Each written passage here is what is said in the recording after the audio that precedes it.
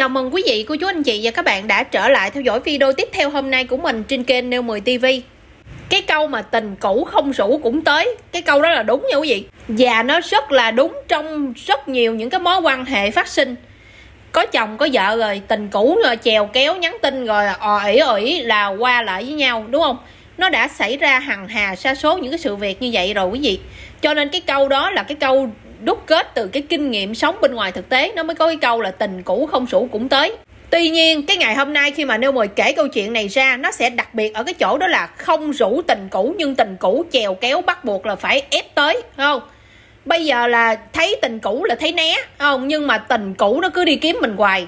Không những vậy, nó lại còn áp lực mình, nó ép buộc mình, thì coi như quý vị vô trong tình huống đó thì sao? Quý vị thiệt sự là vậy, đúng không?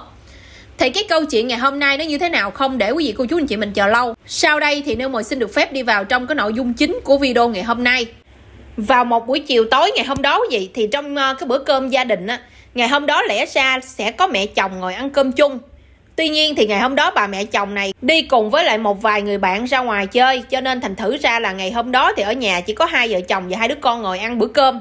Thì trong cái bữa cơm ngày hôm đó cái người vợ á, thì ngồi ăn cơm chung với đứa con gái lớn tên là tuyết và cái người vợ này tên là lệ.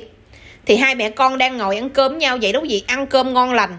Thì trong cái bữa cơm đó cái người chồng á, đang lo giữ cái đứa con nhỏ. À, cũng là một đứa con gái luôn nhưng nó còn nhỏ. Thì cái người chồng này phải ẩm con bế con giữ con để cho vợ mình ăn cơm với con gái lớn.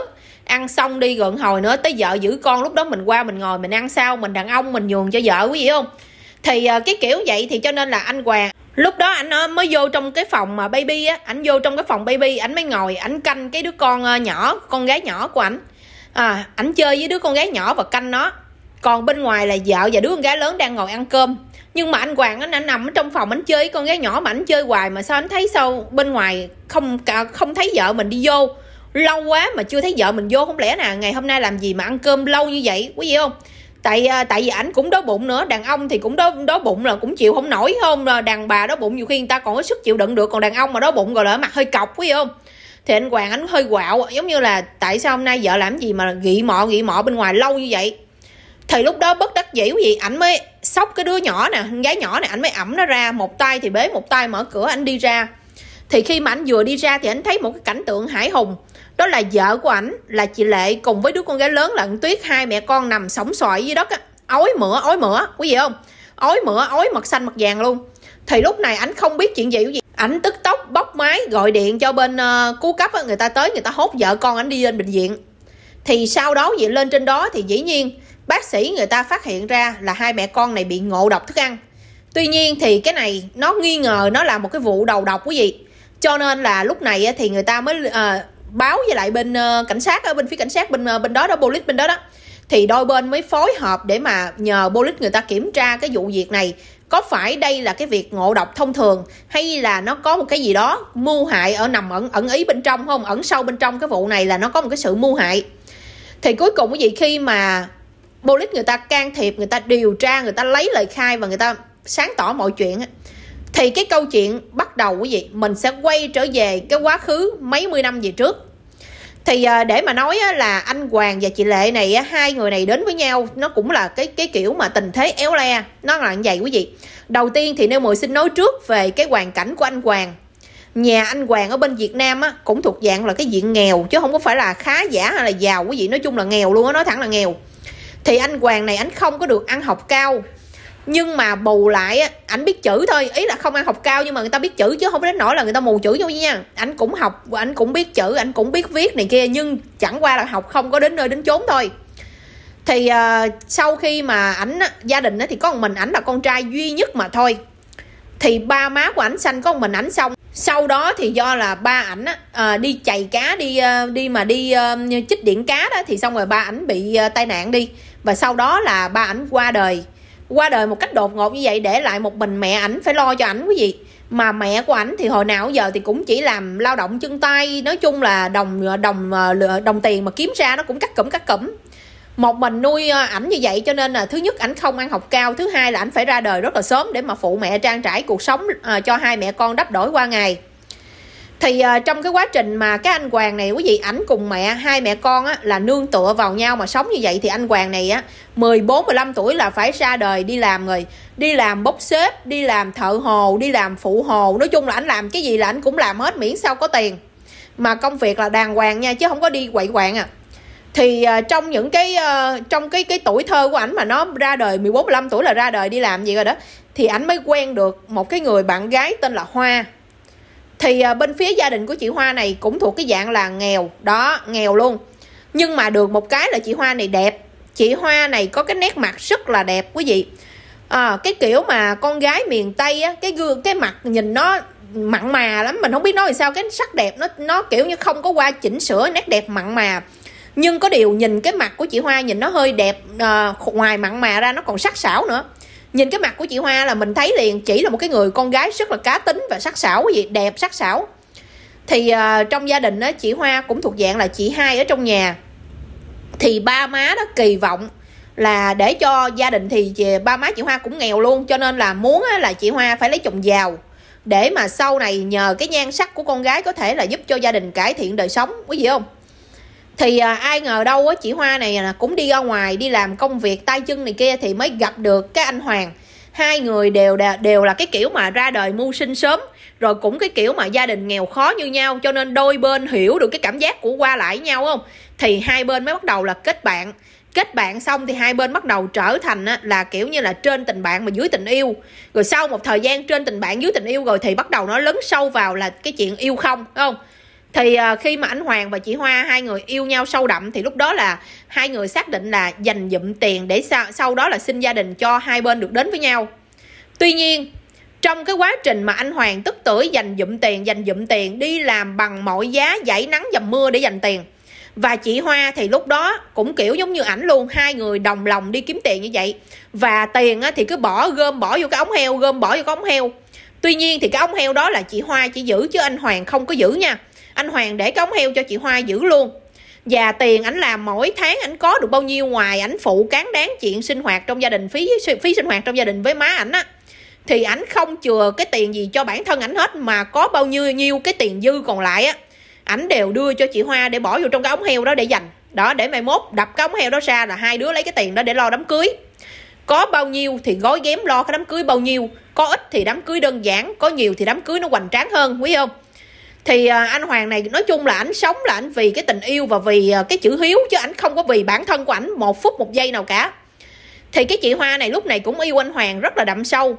Và hai người nhất y nhất quán lại là, là dành tiền trong cái ống heo đó. Và chị Hoa ôm cái ống heo bự chào bá lửa đó chị Hoa giữ ở nhà.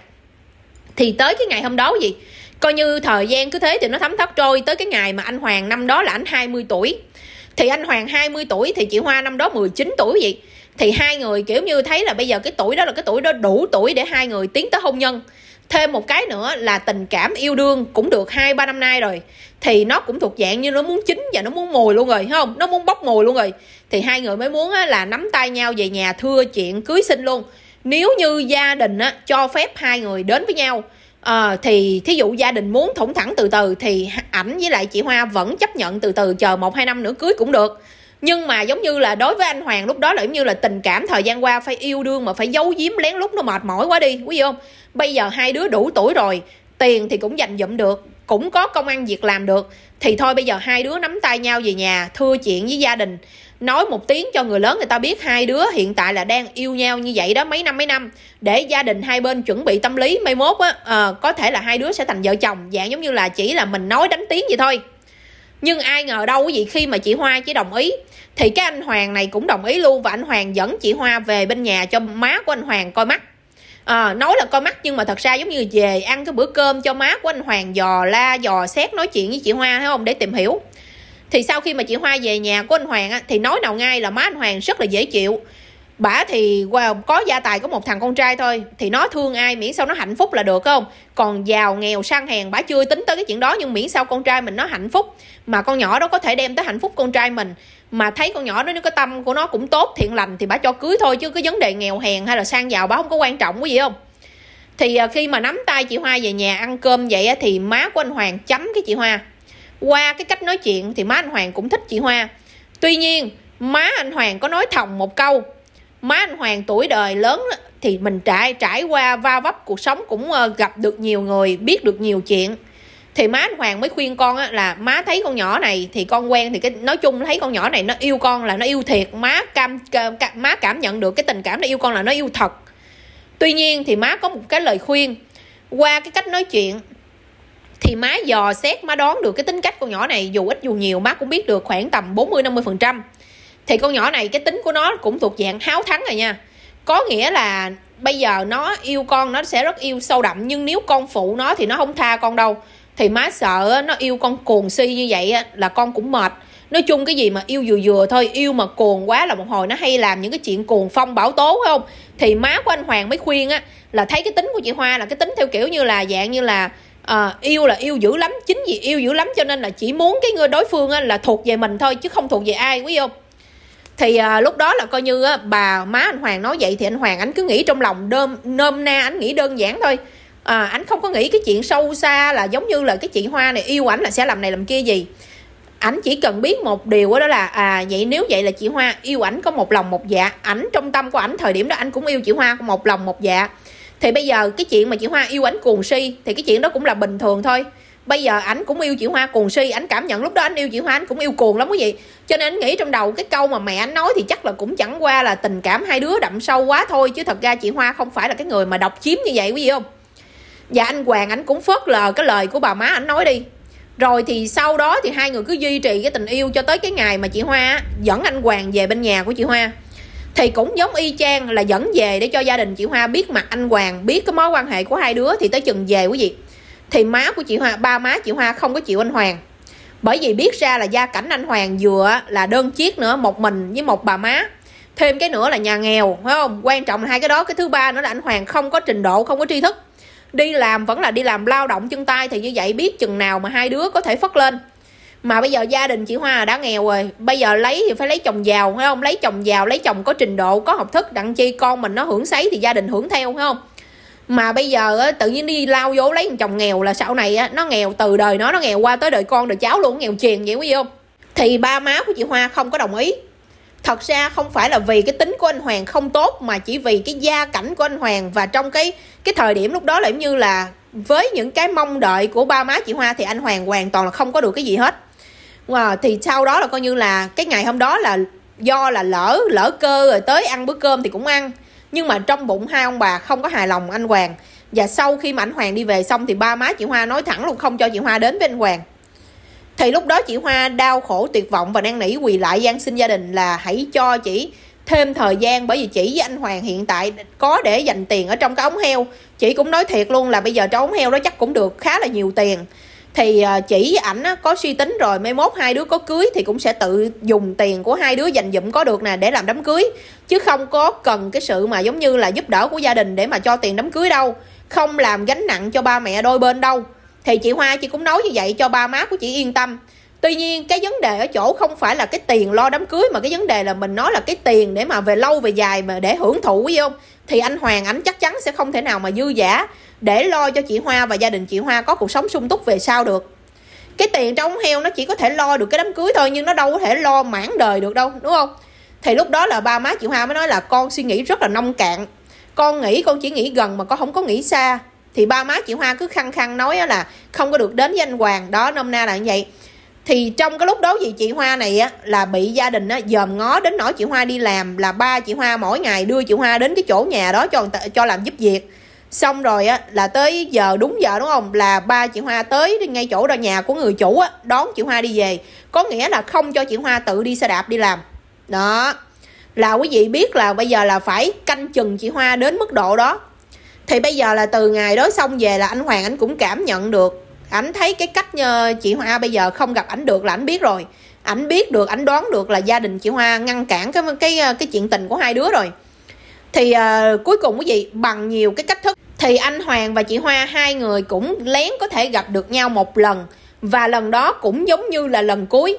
Bởi vì ngày hôm đó khi mà gặp nhau để mà nói chuyện á thì anh Hoàng anh mới nói là thôi em cứ nói cho rõ ràng bây giờ là ba má em không chịu anh phải không? Thì chị Hoa chỉ không trả lời nhưng mà chị gật đầu thôi quý vị.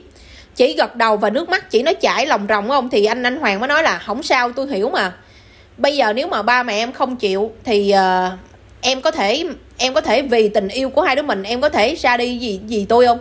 Tức là kiểu dạng lấy chồng theo chồng thôi. Em em uh, không nghĩ tới ba mẹ được không? Thì chị hoa lắc đầu. Có nghĩa là chị hoa vẫn trọng cái chữ hiếu nhưng vẫn đặt nặng cái chữ tình. Có nghĩa là chị hoa đứng cửa giữa, lúc đó là bỏ bên này, mất bên kia. Cái nào chị cũng không có thể làm được cái gì thì à, anh hoàng nó mới nói vậy thôi. Nếu vậy thì tôi cho em thời gian để em suy nghĩ. Em cần bao lâu? Thì chị hoa này mới nói là vấn đề không phải là em suy nghĩ mà vấn đề một phần là em phải cần thời gian để thuyết phục gia đình. Nếu mà được thì anh cho em xin một tháng. Trong vòng một tháng, anh đừng có tìm em em không có tìm anh. Một tháng đó để thử thách ờ, hai đứa mình cái thứ hai nữa là để em có thể là thuyết phục gia đình em mỗi ngày một chút, mỗi ngày một chút, em nói rủ rỉ, rù rì. Để xem thử coi biết đâu á, là mưa dầm thấm lâu rồi ba mẹ em đổi ý. Thì anh hoàng này ảnh tin quý vị, cho nên là sau đó là ảnh không có kiếm chị hoa nữa. Ảnh không có kiếm, không có làm phiền chèo kéo chị hoa nữa, mà ảnh cứ như vậy thì ảnh cứ chờ chị hoa cho đến một tháng. Và trong cái khoảng thời gian đó vậy, vì là ảnh cũng nghĩ là ảnh phải làm sao để nhanh chóng kiếm được tiền nhiều hơn so với bây giờ để có thể chinh phục được gia đình của chị hoa. Thì anh Hoàng lúc này anh mới bắt buộc là anh bỏ cái công việc hiện tại, những cái công việc mà làm, nói chung là nó không có cố định. Làm rày đây mai đó, hôm nay làm phụ hồ, ngày mai đi làm bốc xếp dạng vậy, nó không có, nó không có được cố định đâu mà lương thì ba cọc ba đồng.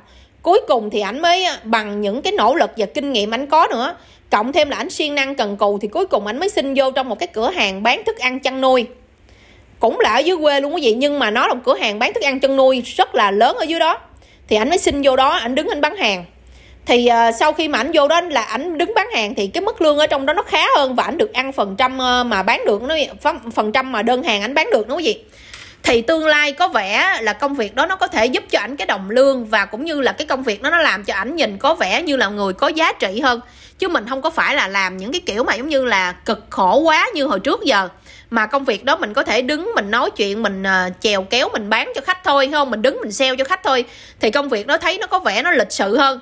Và cái mức lương rồi qua hồng đồ này kia nó ok hơn. Thì tương lai ảnh sẽ có một cuộc sống ổn định. Ảnh nghĩ như vậy là tốt rồi quý vị. Thì uh, sau đó vậy là coi như ảnh qua đó ảnh làm. Thì cứ như vậy ảnh chờ cái cái cái hồi âm của cái chị hoa. Thì cuối cùng quý vị anh hoàng ảnh không ngờ rằng trong cái thời gian ảnh đang làm trên cái cửa hàng thức ăn chăn nuôi cái ngày đẹp trời ngày hôm đó vậy cũng là gần sát tết âm lịch. Thì cái chị hoa này báo cho ảnh biết là chị hoa này á, sẽ đi lấy chồng. Tuy nhiên thì chị cũng nói với ảnh là trong lòng của chị của của chị á, là chị vẫn luôn là nhớ nhung và yêu thương một mình anh hoàng thôi. Chị nói với anh Hoàng á, là bây giờ chị lấy cái, cái người chồng hiện tại nè là vì là bị chịu cái sự áp lực của gia đình. Vì là ba chỉ má chỉ đòi này đòi kia. À, nếu mà chỉ không lấy chồng thì hai người đó đòi à, đi luôn phải không? Cho nên là chỉ bất đắc dĩ chỉ không thể nào là một đứa con bất hiếu chỉ mới phải bấm bụng chỉ lấy cái người chồng này thôi. À, nhưng mà trong lòng của chị chỉ vẫn sẽ luôn nhớ yêu thương anh một mình duy nhất một người đàn ông trong đời chỉ là anh hoàng. À, chị cũng mong rằng á, là dù là chị lấy chồng rồi nhưng mà chị sẽ liên tục á, là vẫn là giữ giữ liên lạc với ảnh tức là chị nói luôn chị nói thẳng luôn là em lấy chồng nhưng em luôn nhớ tới anh và em sẽ luôn bí mật á em giữ liên lạc với anh em mong là anh đừng có từ chối đừng có trốn em thì chỉ nói vậy quý vị thì bây giờ đối với một một người mà như anh Hoàng đi anh Hoàng lúc đó anh cũng nghĩ là bây giờ là bạn người yêu của mình á bất đắc dĩ thôi. Chứ đâu có nghĩ là chỉ bị uh, có có thiệt bất đắc dĩ hay không nhưng mà thấy cái cách đó thì chắc là chỉ bất đắc dĩ thôi. Ảnh cảm nhận được là trong lòng của chị yêu ảnh thiệt quý vị. Và chị à, và ảnh lúc đó ảnh cũng gật đầu ảnh đồng ý ảnh nói là ảnh sẽ chờ chị. Thì à, đối với anh Hoàng á ảnh nghĩ rằng là ảnh sẽ chờ đợi chị Hoa tới cái ngày chị Hoa ly hôn bởi vì chị Hoa có nói với ảnh là anh hãy chờ em trong thời gian đó, em sẽ bí mật, em giờ em giữ liên lạc với anh liên tục liên tục. Hai đứa mình vẫn duy trì tình cảm. Rồi tới một cái thời điểm nào đó chín mùi, em sẽ tranh thủ, em sẽ ly hôn với cái người chồng đó và em đến với anh. Thì tại vì chị ờ, chị hoa chỉ nói như vậy, chỉ nói là bởi vì bây giờ em là gái còn trinh, em còn ngon lành, em còn đẹp đúng không? Thì ba má em ép em phải lấy cái người chồng này khá giả giàu có tuy nhiên nếu mà em qua bên nhà chồng đó em ở không có đặng sau đó em với chồng em mà chia tay đó kiếm cớ gì đó cho nó hợp lý rồi chia tay đó thì lúc đó em đã mang tiếng một đời chồng. Thì cái người con gái ở dưới quê mình mà mang tiếng một đời chồng là thuộc dạng như là cái phẩm giá của người con gái nó đã bị đau xuống rồi. Thì khi đó em có thể em đến với anh mà ba má em có thể là sẽ không ngăn cản nữa. Thì à, thì chỉ nói nghe hợp lý đúng không quý vị? Cho nên là anh hoàng ảnh tin đi. Cho nên ảnh mới nói một câu là ảnh sẽ chờ chị ảnh sẽ chờ chị hoa chờ cái ngày chị hoa chia tay chồng. Nhưng mà rồi quý vị sau đó thì cái chị hoa này nè chỉ vẫn duy trì liên lạc với anh Hoàng nha vẫn có lâu lâu thỉnh thoảng chỉ vẫn gọi điện nói chuyện gọi điện gọi điện nói chuyện bằng sim không? À, chỉ nạp cạc vô chỉ gọi điện nói chuyện ảnh vậy đó.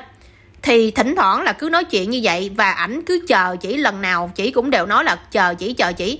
Chỉ nói hết cớ này tới cớ khác nhưng cuối cùng chờ chỉ như vậy và chờ suốt 6 năm trời thì lúc đó giống như là chờ mà tới 6 năm bây giờ yêu có đủ lớn cỡ nào mà chờ 6 năm chờ gì nổi nữa quý vị. Bây giờ kêu chờ tiếp năm thứ bảy chờ được 6 năm gọi là hay lắm rồi đó.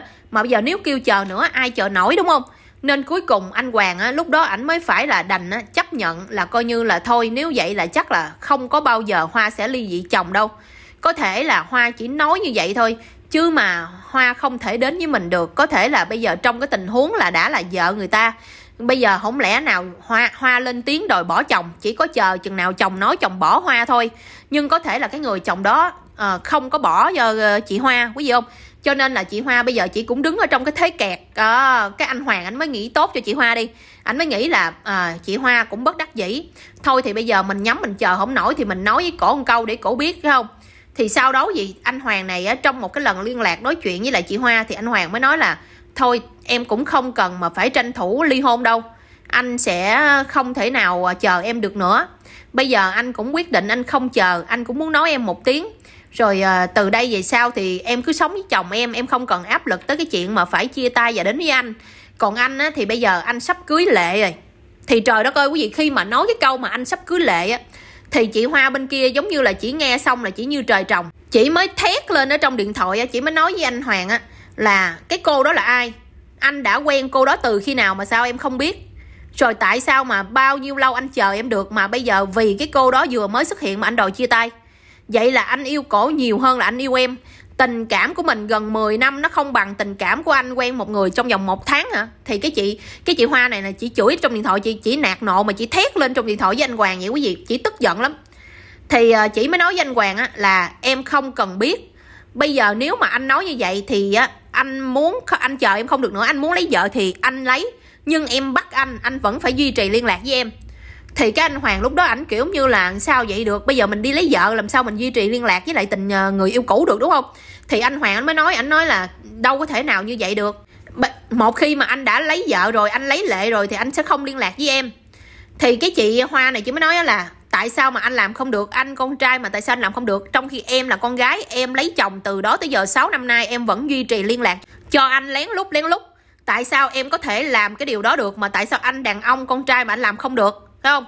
Thì cái chị hoa này chỉ cứ gài anh hoàng vô cái thế là anh hoàng á, dù có lấy vợ cũng vẫn phải giữ liên lạc với chị. Rồi một ngày nào đó, ảnh với chỉ hai người, một bên bỏ chồng, một bên bỏ vợ, hai bên đến với nhau thì lúc đó là có thể là cái duyên nó đến muộn, nhưng mà nó vẫn đến với nhau, phải không? Thì chị mới kêu ảnh là, em muốn anh phải giữ cái liên lạc với em. Còn nếu như mà anh khăng khăng là anh dứt khoát với em là em không biết em sẽ làm cái gì với vợ của anh đâu. Em sẽ truy lùng ra coi vợ anh là ai, danh tính như thế nào, em sẽ làm này làm kia vợ anh.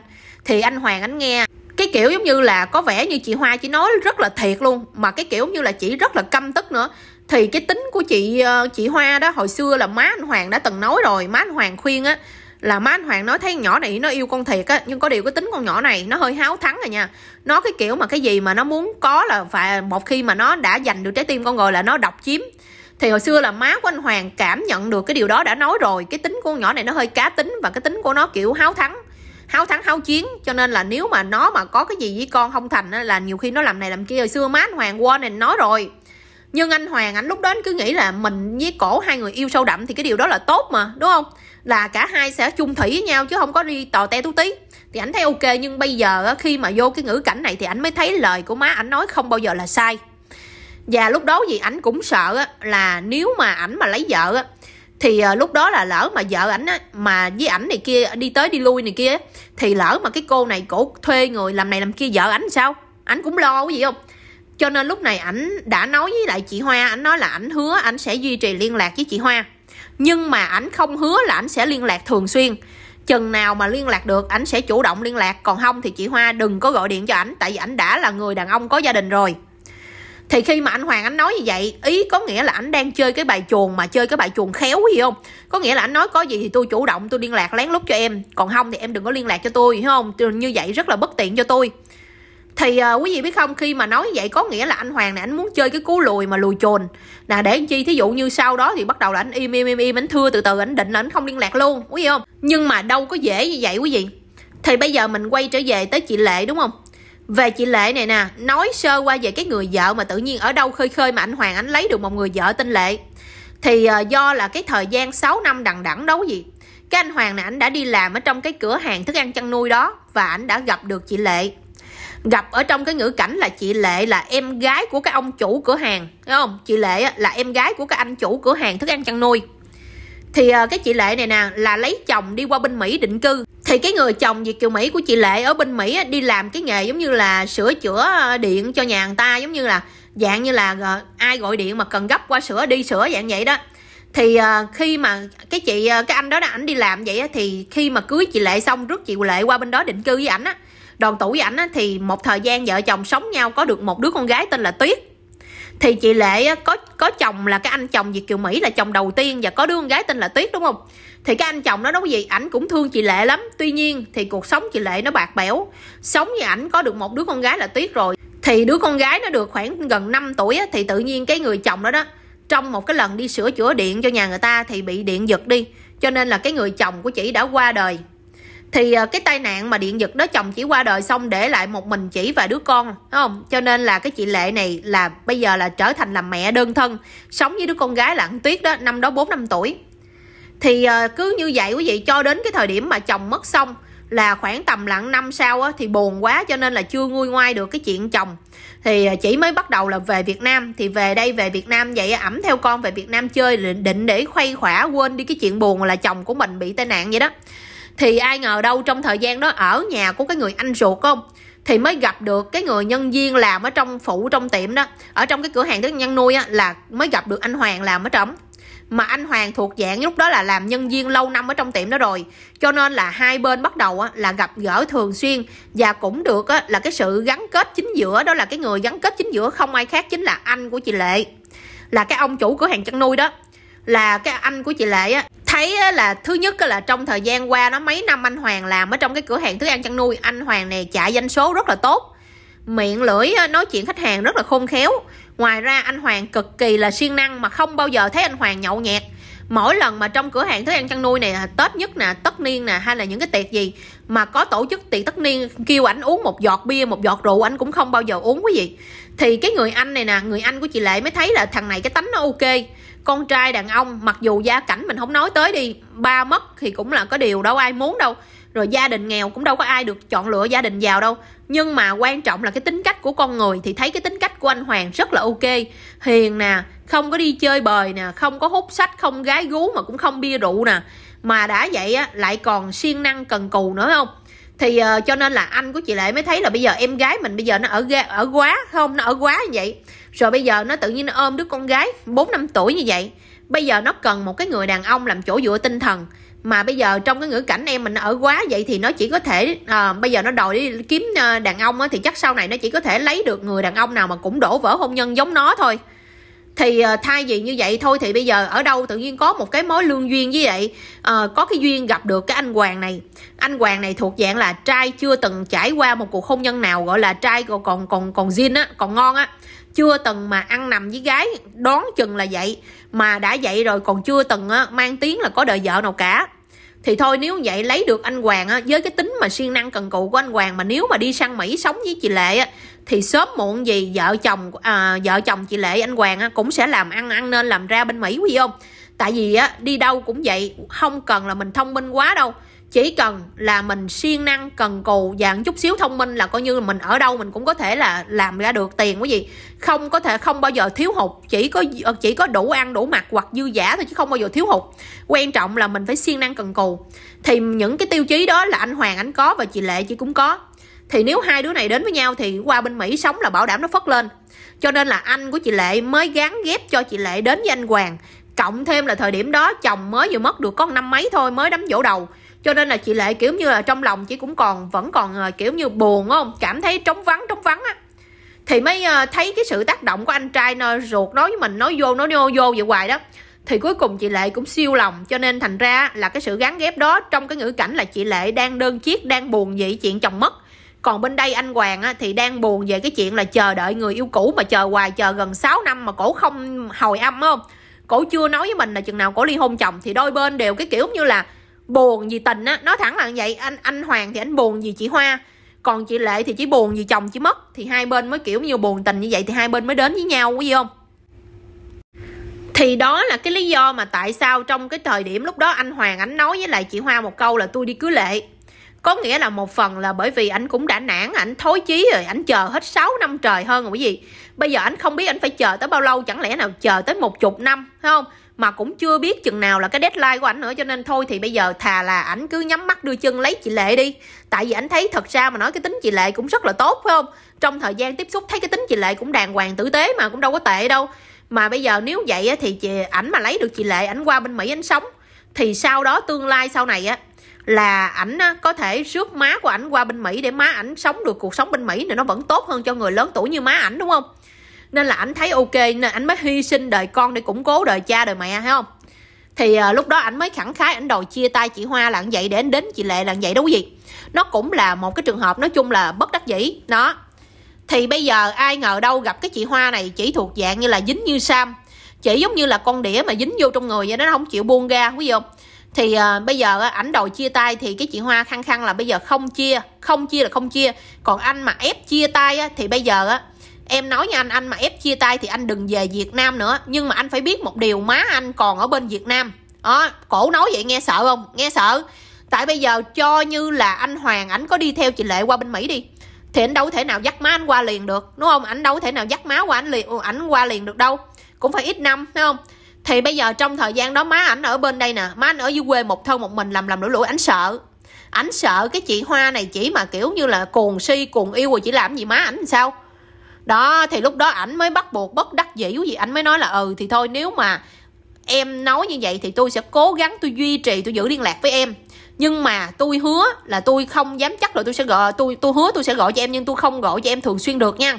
Trời chừng nào tôi gọi thì tôi chủ động tôi gọi cho em, đừng gọi cho tôi, tại tôi đã là người đàn ông có gia đình rồi. Và tôi không muốn cho vợ của tôi khổ, vợ tôi buồn phải không? Thì uh, lúc đó gì khi mà anh Hoàng nói vậy thì chị Hoa chỉ càng ghen nữa thấy không? Chỉ càng ghen bởi vì chị thấy anh Hoàng anh Hoàng á, quan tâm cái cảm xúc của cái người vợ sắp cưới mà không quan tâm cảm xúc của chị. Trong khi đó quý vị ngồi sâu chủ lại thì cái chị Hoa này chỉ rất là ích kỷ. Chị chỉ biết nghĩ cho bản thân của chị thôi chị cũng là phụ nữ. Làm sao mà có thể chấp nhận được khi biết chồng mình qua lại người yêu cũ đúng không? Vậy mà chỉ nói là anh hoàng chỉ có biết hiểu cảm giác của vợ sợ vợ ghen mà không nghĩ tới chị. Ủa chị bây giờ chỉ là cái gì nữa đâu? Chỉ đâu có lạ gì đâu chỉ là người yêu cũ. Mà cái gì nó đã cũ là nó đã qua rồi. Chỉ đâu có cái gì đâu mà chỉ lên tiếng đến chị nói đúng không? Cái gì? Nhưng mà bây giờ giọng thứ em nói gì cuộc đời này nó khó nói lắm nhiều khi nhiều người ngang ngược lắm quý vị ơi. Thì uh, sau đó gì? Cái chị hoa này chỉ thể hiện cái tính tình của chị nó rất là dữ dằn. Mà cái kiểu như là bị kích động nữa cho nên là anh hoàng anh sợ bất đắc dĩ anh mới nói là anh sẽ giữ liên lạc và rồi sau đó gì thì công nhận là sau khi mà nhờ so dịu cái cách là cứ lén lén liên lộ liên lạc liên lạc, nhắn tin, nói gọi điện, nói chuyện với chị hoa. Thì cuối cùng là anh hoàng cũng được đến làm cái đám cưới với chị lệ đàng hoàng. Và sau đó thì chị lệ cũng làm hồ sơ giấy tờ rước anh hoàng qua bên mỹ định cư. Thì sau khi mà anh Hoàng, ảnh qua bên Mỹ định cư ảnh vẫn phải duy trì liên lạc cho chị Hoa bên Việt Nam, tại ảnh cứ sợ là chị Hoa sẽ làm này làm kia, má của ảnh quý vị không? Thì cứ như vậy quý vị, thì thời gian nó cứ thấm thoát, nó trôi cho tới cái ngày á mà anh Hoàng này nè ảnh qua bên Mỹ ảnh định cư rồi. Bây giờ ảnh qua bên đó ảnh với vợ ảnh là là chị Lệ á, thì hai vợ chồng á, anh Hoàng và chị Lệ qua bên đó sống nhau rất là hạnh phúc luôn. Và anh Hoàng ảnh xin vô trong hãng ảnh đi làm. Thì bây giờ quý vị hai vợ chồng sống hạnh phúc vậy nhưng mà chưa có con liền. Bởi vì cái thứ nhất á, là chị lệ chỉ nói là thứ nhất là chồng của chị mới vừa khuất xong. Thì uh, bây giờ chị đã lấy chồng nó là một cái lỗi sai rồi mà chẳng lẽ nào vừa lấy chồng xong rước chồng qua đây thì chị lại có bầu sanh con với ảnh nữa thì chị cảm thấy như có gì đó nó có lỗi với cái người chồng cũ quá đi. Hãy cho chị sinh thêm á là hai năm. Đợi chừng nào á, cho con tuyết nó lớn lớn một chút đi. Rồi xong rồi á, lúc đó giống như là con tuyết nó hiểu chuyện hơn rồi đó. Thì lúc đó chị sẽ để cho có bầu rồi sanh cho ảnh đứa con thì dĩ nhiên là đối với anh Hoàng thì chị Lệ giống như cũng một phần như là người ân nhân đã rước ảnh qua bên Mỹ nữa. Thì cái điều mà chỉ thờ chồng, thương chồng thì cái chuyện đó nó không có sai. Ảnh cũng tôn trọng cái điều đó nên sau đó là anh Hoàng đồng ý. Một phần nữa là anh Hoàng anh cũng đồng ý là bởi vì á, ảnh cũng mới vừa qua Mỹ chưa được bao lâu, ảnh cũng cần thời gian để ổn định cuộc sống bên đó nữa. Bây giờ mà nếu vợ chồng mà có con nữa thì nó lộ lu sa bu gì không? Thì sau đó là đôi bên thống nhất là sẽ kế hoạch như vậy và chờ tới khi nào con tuyết nó được khoảng tầm 9 10 tuổi á thì lúc đó hai vợ chồng mới để cho có bầu.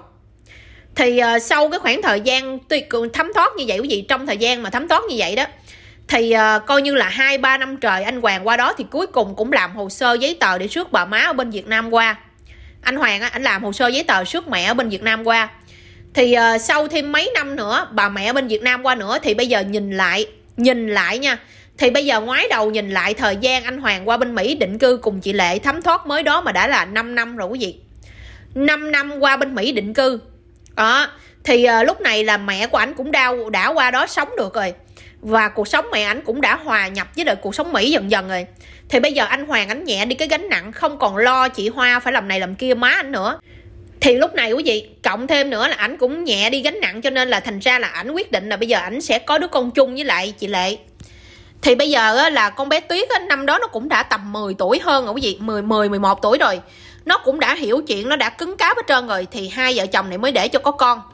Thì khi mà chị lệ chỉ vừa mang thai quý vị chỉ vừa cấn bầu thôi chỉ vừa cấn bầu cái đứa con chung giữa ảnh với lại giữa, giữa chỉ với lại anh hoàng thôi là coi như anh hoàng ảnh tắt mọi liên lạc với lại chị hoa ở bên việt nam. Ảnh không liên lạc không ờ, gọi điện không nhắn tin nữa quý vị. Bởi vì bây giờ ảnh đâu có cái gì để anh lo nữa đâu.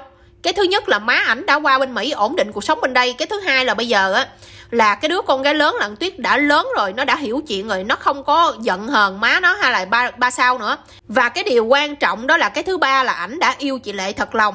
Có nghĩa là ảnh đã dần dần ảnh quên đi luôn cả cái quá khứ ngày xưa ảnh với chị hoa rồi. Bây giờ cái đó nó đã thuộc về quá khứ rồi. Ảnh cũng không còn, dần dần ảnh cũng nguôi đi cái tình cảm, nguội lạnh cái tình cảm với chị hoa rồi. Bây giờ thật sự trong mắt của anh hoàng thời điểm đó là ảnh yêu vợ ảnh là ảnh yêu thiệt. Ảnh muốn sống với vợ ảnh, có một gia đình thực thụ là có thật ảnh không có mua phải là đứng núi này trong núi nọ với cái người yêu cũ nhau quý vị, với chị hoa nha. Cho nên là lúc đó ảnh mới muốn là có được một đứa con chung với cái người ảnh yêu là vợ của ảnh là chị lệ. Nên là ảnh với chị lệ hai người mới để cho có bầu. Thì lúc mà vừa cấn bầu một cái là coi như ảnh thấy là ok, mọi thứ trên bước đường ảnh đi nó đều giống như là đúng bài bản, đúng bài bản hết rồi. Thì lúc đó ảnh mới cắt mọi liên lạc hết trơn, nhắn tin gọi điện không liên lạc gì với chị hoa bên việt nam. Thì quý vị biết không, cái chị hoa này trong cái ngày hôm đó gọi điện cho anh hoàng tới chín cuộc gọi trong một cái thời điểm trong vòng tích tắc một hai tiếng đồng hồ mà gọi cho ảnh chính cuộc gọi liên tù tì. Mà một cuộc gọi đầu tiên bắt máy lên là chỉ chửi ảnh.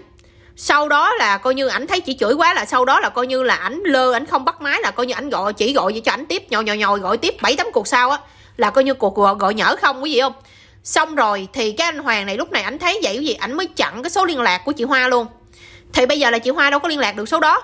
Cho nên á là lúc đó chị hoa mới bằng mọi cách quý vị là dùng một cái cách liên lạc khác một cái phương thức liên lạc khác và nhắn tin không gọi điện nữa nhắn tin cho anh hoàng.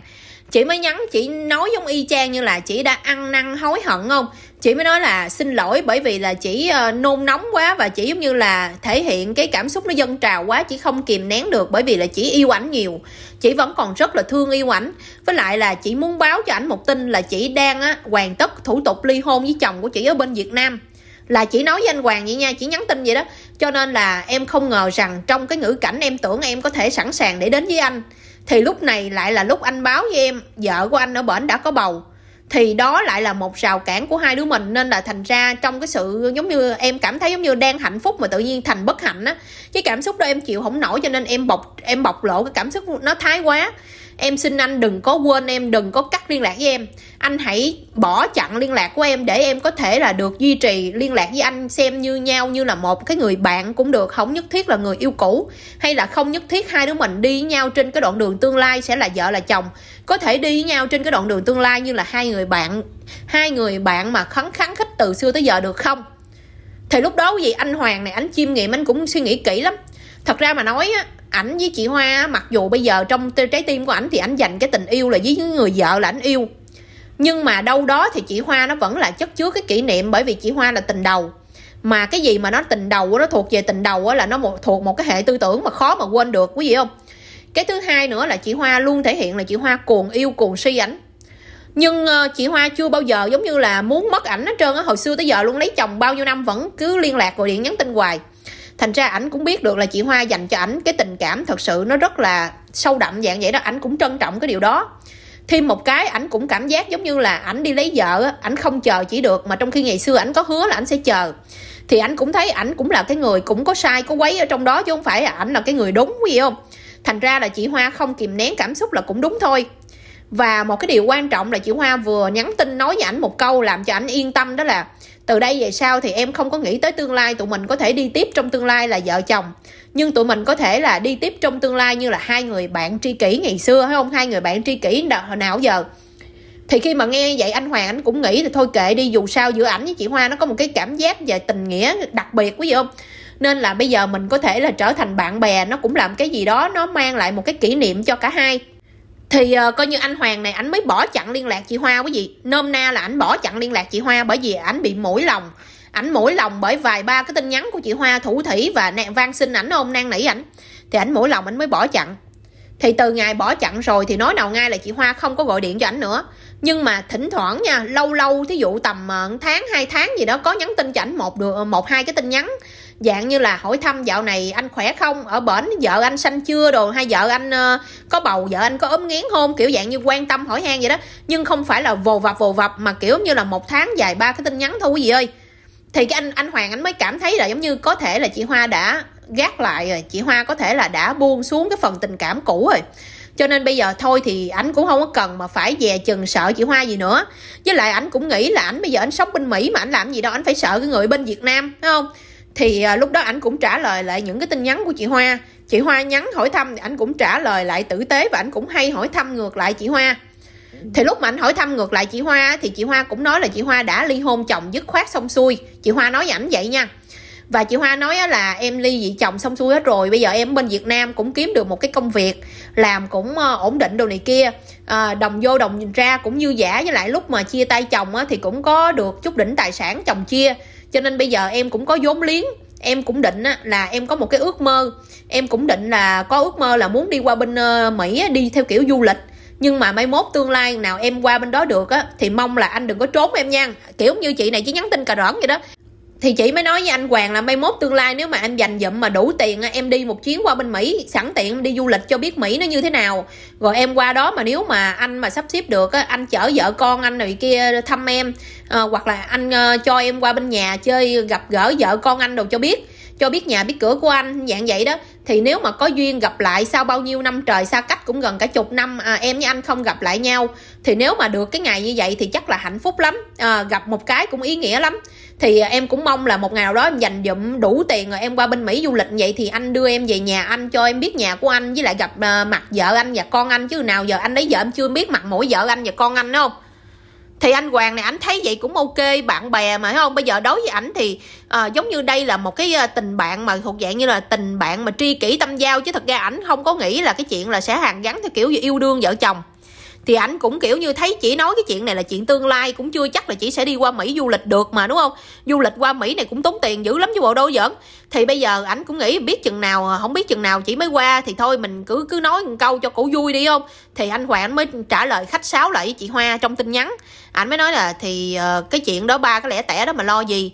Chừng nào mà em qua được mỹ đi anh lo cho em hết cho ăn ở anh lo luôn không? Em, thì khi mà nghe vậy dĩ nhiên là chị chị hoa này chỉ mừng rồi, quý vị. Và anh hoàng, anh nghĩ trong đầu là anh nói vậy, giống như là dạng như là mình khách sáo, mình nói mình mời lơi vậy thôi. Mình mời lơ lơ lơ lơ vậy thôi, chứ đâu phải mình mời thiệt tình đâu. Thì không lẽ nào chị hoa nào chỉ dọn vô trong nhà của ảnh, chị ở thiệt, không làm gì có chuyện đó. Tại vì chị hoa chứ cũng phải lượng sượng ngại với lại vợ ảnh chứ. Thì ảnh nghĩ ban đầu là ảnh mời vậy là mời lơ thôi, mời khách sáo thôi, quý vị không? Thì cứ như vậy quý vị thì thời gian nó cứ thấm thoát trôi qua. Hai người này chỉ là giống như là bạn bè thôi. Và cứ kéo dài cái tình bạn lâu lâu, thỉnh thoảng thì nhắn tin, một, hai cái tin, hai, ba cái tin gì đó. Và nó kéo dài vậy cho đến một năm rưỡi sau. Thì cái ngày hôm đó vậy chị Hoa này chỉ mới nhắn tin cho anh Hoàng hỏi, dạo này anh Hoàng khỏe không? Rồi cũng nói chuyện rồi kia nọ. Xong thì chị này chỉ mới nói là, em sắp chuẩn bị là qua bên Mỹ. Em xin visa mà bây giờ đang chờ. Em chắc chắc là tương lai em sắp qua tới rồi đó anh hứa hồi xưa anh nói với em là em qua là anh sẽ lo luôn cả ăn và ở, anh nhớ chưa? Thì bây giờ em qua rồi anh nhớ là anh lo nha. Thì chỉ nói cà đỡn cà đỡn là anh Hoàng cứ nghĩ là chỉ nhắn tin cà đỡn vậy thôi thấy không? Nhưng mà ai ngờ đâu chỉ, anh Hoàng mới nói là thì có sao đâu, chừng nào em qua đi rồi em alo cho anh. Thì cái chị hoa này mới nhắn lại nói là vậy anh cho em xin cái số phone bên mỹ của anh đi, em qua tới nơi em sẽ gọi cho anh. Thì cái anh hoàng này anh cũng thấy chị hỏi, nói vậy rồi thì thôi cũng gửi cho chị cái số phone bên mỹ của ảnh sau đó vậy thì ờ, cái, cái cái lúc đó anh Hoàng mới nói với chị á, là con của anh hôm bữa nó mới uh, tiệc thôi thôi này kia vậy vậy vậy đó bên đây.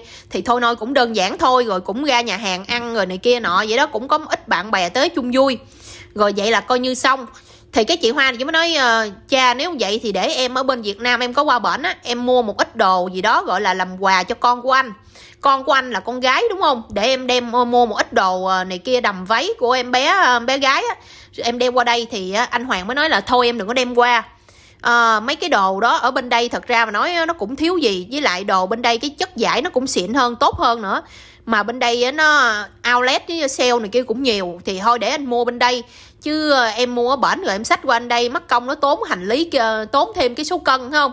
Rồi à, qua đây chủ yếu là vui thôi chứ đừng có quà cáp làm chi. À, anh với em thì dạng như là bạn bè bây giờ thân tình rồi có gì đâu mà em tính toán chi ly ngại ngại ngùng gì không?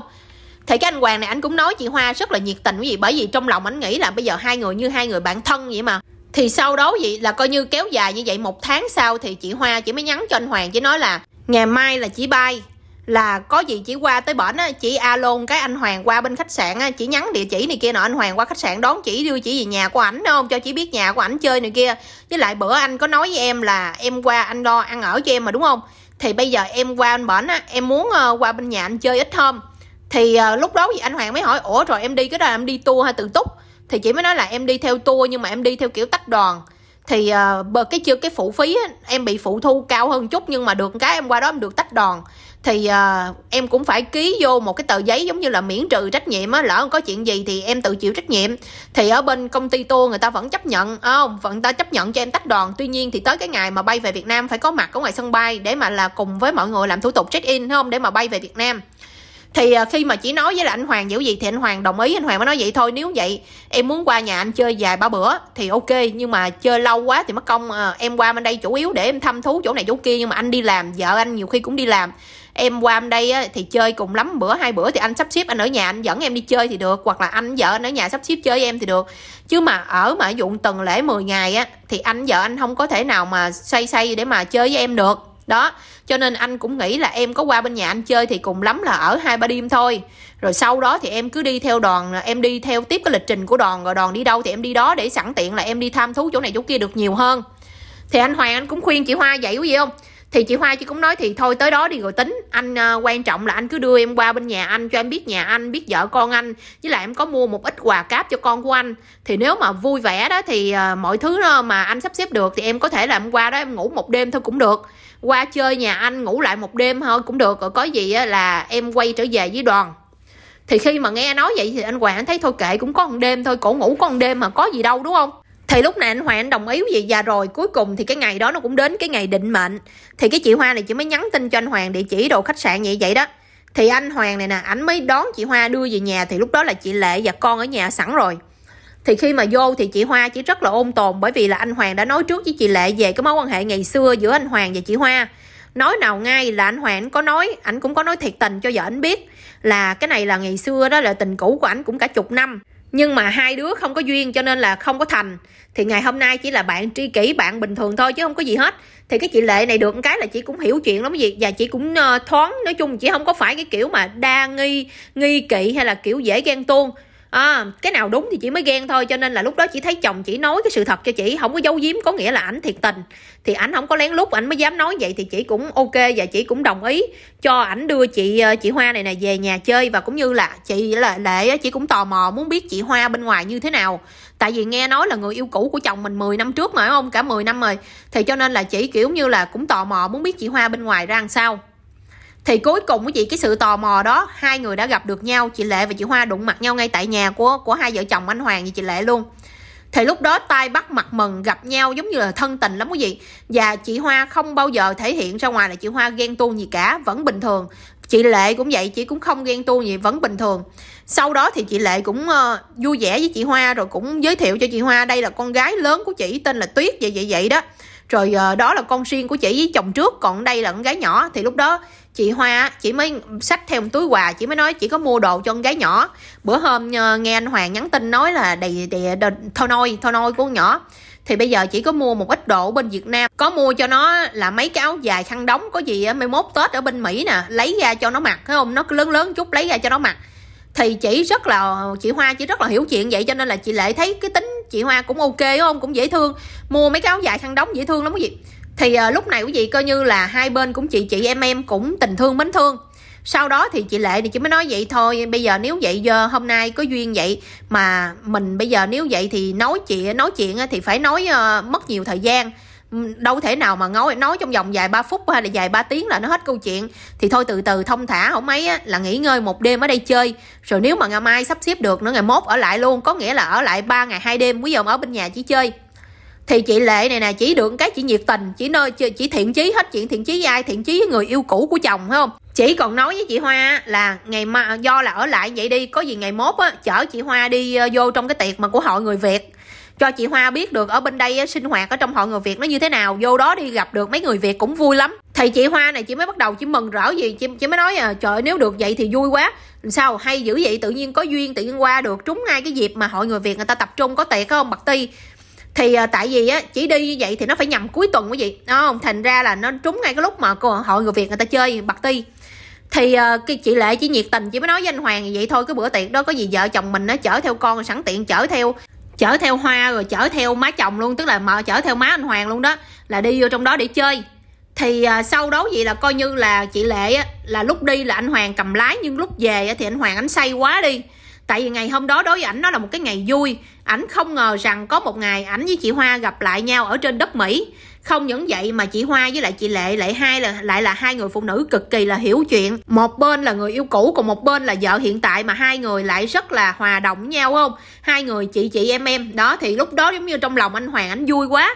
Cho nên là cộng thêm tối đó bạc ti cũng vui nữa cho nên là ảnh nhậu quá là xỉn quý vị. Thì cái lúc mà tới chừng mà về đó cái chuyến về cầm lái về thì chị lệ là người cầm lái chở cả nhà về nhà.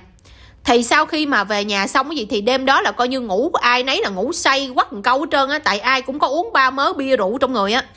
Thì uh, sau đó gì thì tới sáng ngày hôm sau là sáng ngày thứ ba đúng không? Sáng ngày thứ ba thì bây giờ là hôm bữa là chị lệ có nói rồi là chị chỉ có ở lại ở trong ờ, trong nhà của anh hoàng trong vòng là ba ngày hai đêm thôi. Chủ yếu là nán lại đây là tại vì tối qua có cái tiệc của hội người việt mới nán lại. Thì bây giờ là đã xong rồi tàn tiệc rồi thì ngày hôm nay chỉ phải nhập đoàn chỉ đi theo đoàn. Cộng thêm cái nữa là chỉ đi theo đoàn thì chỉ mới được đi chơi được nhiều nơi không? Đi chơi được nhiều nơi đi theo đoàn đi chơi được nhiều nơi chỉ bỏ tiền ra cũng nhiều mà thì cũng phải đi đây đi đó. Thì lúc đó gì coi như là cái ngày hôm đó thì sáng á, thức dậy sáng ngày thứ ba thức dậy thì má của anh Hoàng nè, chị Lệ nè và chị Hoa, ba người đàn bà dậy rất là sớm. Bởi vì chị Lệ thì mắc con nhỏ, chị Hoa thì kiểu như lệch múi giờ. Còn cái bà má thì bà lớn tuổi thì bà quen cái kiểu mà nói chung là tối thì ngủ sớm, sáng thì dậy sớm đúng không? Cho nên là tới chừng mà bà kiểu như sáng bà thức dậy sớm luôn thì ga đó là coi như là thấy chị Hoa với lại chị Lệ, hai người, hai chị em đứng trong bếp, làm đồ ăn sáng rồi kia thì sau đó là bài biện ngồi ăn sáng với nhau ba người đàn bà ngồi ăn sáng với nhau cái gì? Thì lúc đó má của anh hoàng mới nói ngày hôm nay chừng nào con đi. Đó tức là chừng nào con rời khỏi nhà con đi về qua bên chỗ uh, cái cái đoàn của con á. Thì cái chị hoa chỉ mới nói con có nhắn tin cho nhờ hướng dẫn viên rồi. Nó nói với con á là ngày hôm nay á do là sáng sớm là phải dẫn đoàn đi đi như vậy là lê lết như vậy là đi nhiều điểm như vậy là tới chiều tối á, mới về check in ở khách sạn để nhận phòng. Thì thôi nếu mà bây giờ á, chị á, mà muốn nhập vô đoàn trở lại thì bây giờ á, là chị phải về á, là tầm cái giờ mà tụi em đang check in khách sạn á, check in khách sạn á thì chị có mặt ở bên đó đi để sẵn tiện là em check in phòng cho chị luôn để chị vô chị nghỉ ngơi. Qua ngày hôm sau là điểm danh là mình đi mình đi tham quan mấy cái điểm tiếp theo phải không? Thì uh, lúc đó cái ờ, bà má của anh Hoàng mới hỏi vậy rồi hôm nay nếu mà con nói vậy chừng nào con có mặt bên khách sạn đó? Thì cái chị Hoa mới nói uh, nó nói với con là tầm 6 7 giờ gì đó là uh, đoàn trở về khách sạn để nghỉ ngơi á thì uh, có gì tầm giờ đó con có mặt ở bên khách sạn là vừa thấy không? Hoặc là con nghĩ là con nên có mặt sớm hơn cũng được. Đặng để cho thà sớm còn hơn trễ không? Thì sau khi mà chị Hoa chỉ nói vậy xong thì chỉ nói câu trước vậy câu sau chị mới nói như vậy. Chị nói là với lại á, là con cũng có một cái ý như vậy. Thôi thì bây giờ cái ngày hôm nay á, dù sao thì cũng phải là chiều chiều tối tối thì con mới đi qua bên khách sạn nhập đoàn mà từ cái chỗ khách sạn với lại bên cái nhà này nè con có lên ờ, trên map con coi địa chỉ á thì con thấy là nó đâu đó nó cũng khoảng cách nó cũng không có quá xa nó cũng gần à. Thì thôi nếu vậy á nếu mà được á thì ờ, con có ý định là muốn mời cả nhà một cái bữa cơm gia đình do chính tay con nấu phải không? Quý vị thấy ghê chưa?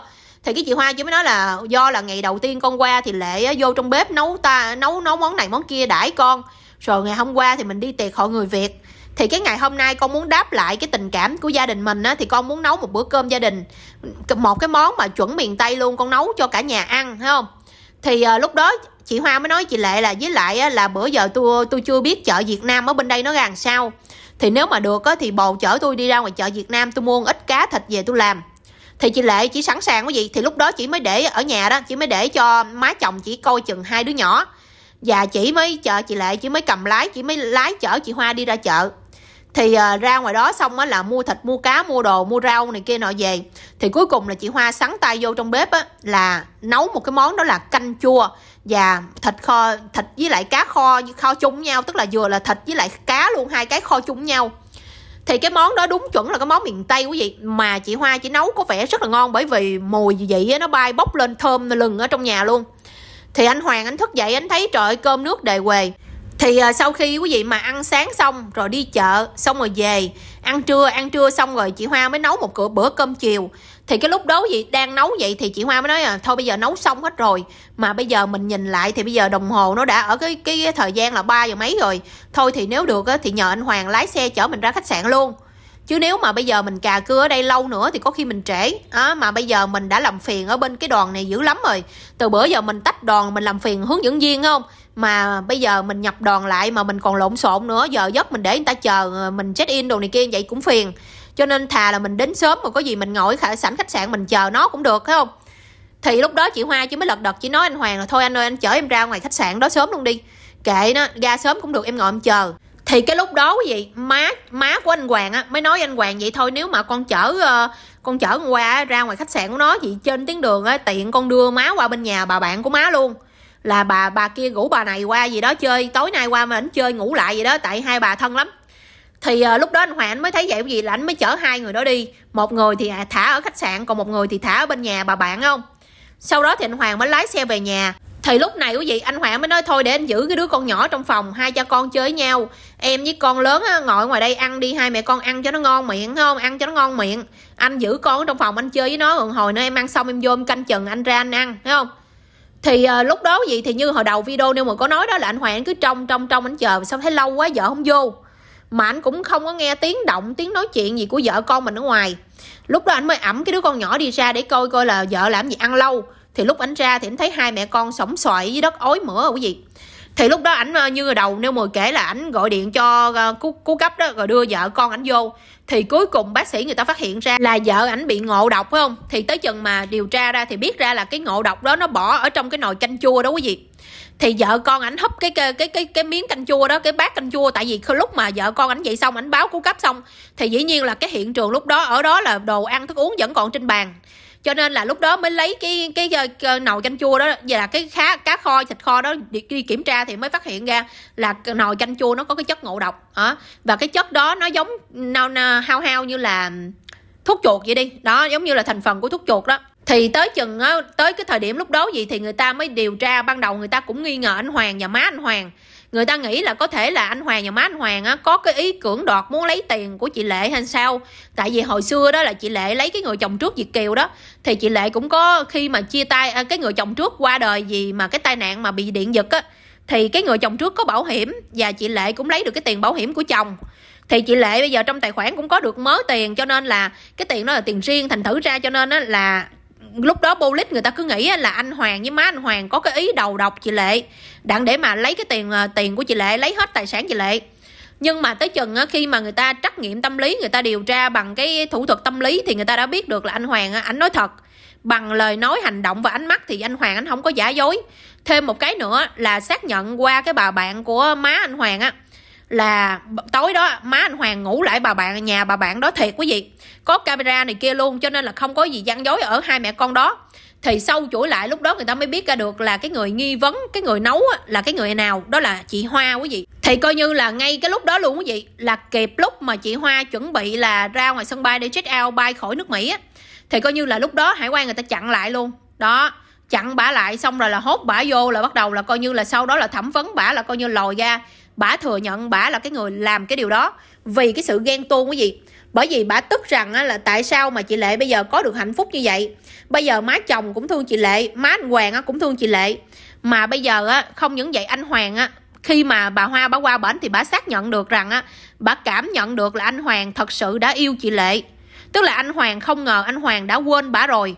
Anh hoàng bây giờ yêu vợ là yêu thật bà cảm nhận được cái điều đó. Có nghĩa là bà cảm thấy bây giờ anh hoàng quên bà luôn cái điều đó nó làm cho bà cảm thấy rất là căm phẫn. Bởi vì bà đã ly hôn chồng bằng mọi cách để có thể đến. Nhưng cuối cùng bây giờ anh hoàng lại cưới vợ sanh con và yêu vợ thương con. Cái điều đó giống như là đối với bà, giống như là cái sự đánh đổi của bà là giống như là nó vô bổ, phải không? Bà cảm thấy bà tức như vậy đó. Bà ghen tị, bà đố kỵ và bà tức á. Thì sau đó là bà mới nói là bà mới nghĩ tới cái chuyện là bà đã thủ sẵn cái đó trong người rồi, là coi như là bà mới xử lý luôn.